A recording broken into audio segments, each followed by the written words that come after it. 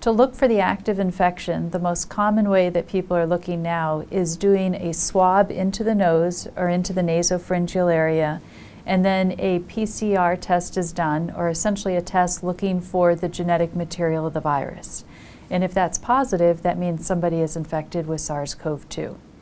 There are other ways to look for whether somebody's been exposed previously with a blood test, and there are tests that can actually look for some of the proteins or the antigens but the most sensitive test for active infection now is looking for the genetic material.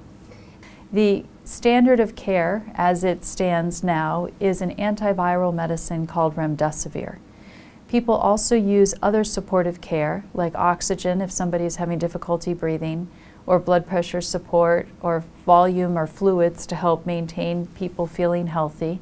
There are a number of other clinical trials that are looking at other antiviral medicines as well as modulators of the immune system to help prevent people from getting very sick in those later phases of disease.